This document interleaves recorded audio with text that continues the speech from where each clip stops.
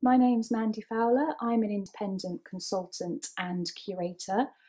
I have many experiences of working in the cultural sector as an independent and also running an organisation.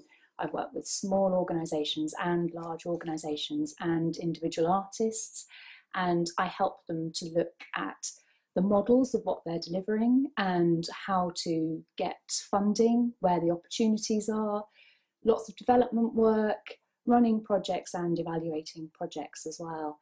My pivotal moments, I've had several in, in my career, have been when I've been mentored.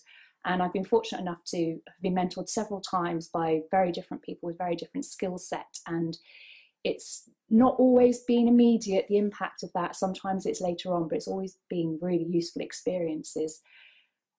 If I could have any mentor from any period in time, I would choose to have the artist Frida Kahlo. She was one of my first loves as an artist.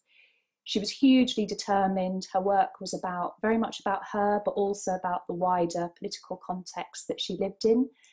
And I'm really interested in the way in which she managed to marry those things together.